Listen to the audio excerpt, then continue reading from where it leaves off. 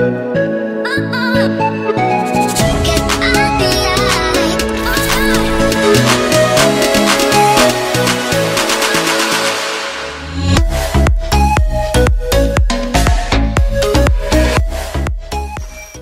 वालेकुम और daily tutor देखने का शुक्रिया। मेरा नाम यासीन है और ये है ओनर 8C का रिव्यू अगर आप चैनल पर नए हो तो सब्सक्राइब कर लें और साथ ही नोटिफिकेशन बिल पर क्लिक कर लें, ताकि आने वाली वीडियोस की नोटिफिकेशंस आप तक पहुँच सके। हमारी आज की वीडियो के स्पॉन्सर है रिंग जहाँ से आप अपने मनपसंद यूज्ड और बॉक्स पैक्ड फ़ोन खरीद सकते हैं। और अगर आप ये फ़ोन खरीदने में इंटरेस्टेड हो तो लिंक्स डिस्क्रिप्शन में है। हुआवे ने 10 फरवरी 2019 को अपना नया मिड रेंजर यानी कि ओनर 8C लॉन्च कर दिया है। ओनर 8C दो वेरिएंट्स में अवेलेबल है। तीन जीबी रैम और बत्तीस जी स्टोरेज जिसकी रिटेल प्राइस छब्बीस हज़ार रूपए है। और दूसरा तीन जी रैम और चौसठ जी स्टोरेज दोनों में ही तीन जी की रैम है और एक में बत्तीस जीबी और दूसरे में चौसठ जी स्टोरेज है। और ये फ़ोन तीन कलर में अवेलेबल है। मिडनाइट ब्लैक और ब्लू और प्लेटेनियम गोल्ड और हमारे आज का वेरिएंट तीन जीबी रैम बत्तीस जीबी स्टोरेज और ब्लू कलर वाला है। तो चलिए रिव्यू शुरू करते हैं। शुरुआत करते हैं बिल्ड क्वालिटी से। फ्रंट पे ये 6.3 पॉइंट इंच का H D plus I P S L C D panel है, जो कि एक प्री अप्लाइड स्क्रीन प्रोटेक्टर के साथ आता है। ऊपर एक नोच देखने को मिलती है, जबकि बैग पर प्लास्टिक की बैग दी गई है जिस पर स्क्रेचेस जल्द नुमाया होंगे।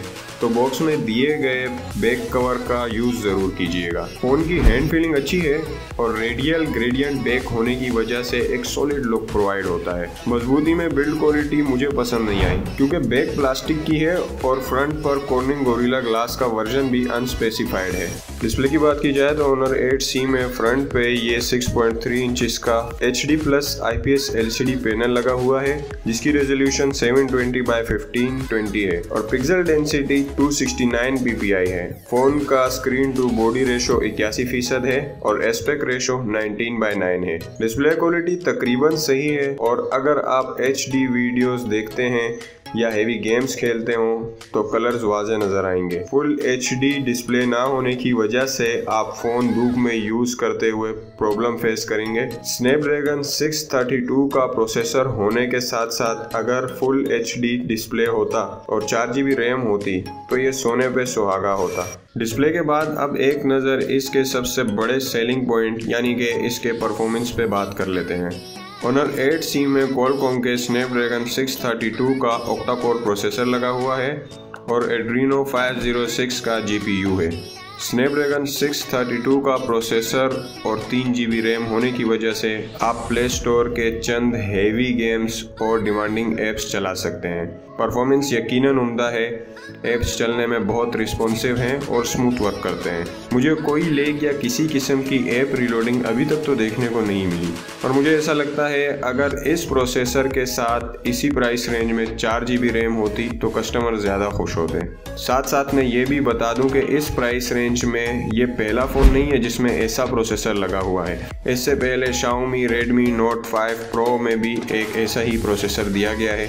गीक बेंच रिजल्ट्स की बात हो तो सिंगल कोर स्कोर 1239 आया और मल्टी कोर स्कोर 4668 आया।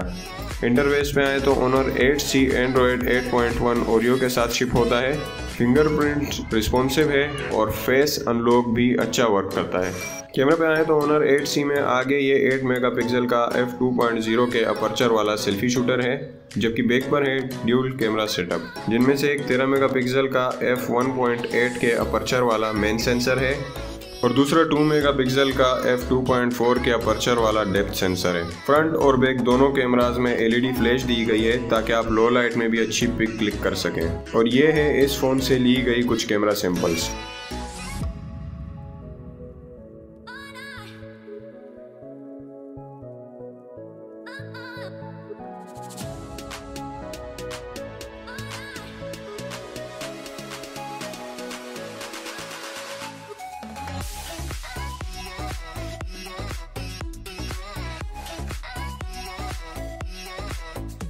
दोनों कैमरास फ्रंट और बैक से आप 1080p 30 fps पे वीडियो रिकॉर्ड कर सकते हैं। आखिर में बात करते हैं बैटरी की। ऑनर 8C में लियोन की नॉन रिमूवेबल 4000 एम की पावरफुल बैटरी लगी हुई है जिसमें कोई फास्ट चार्जिंग का फीचर देखने को नहीं मिला।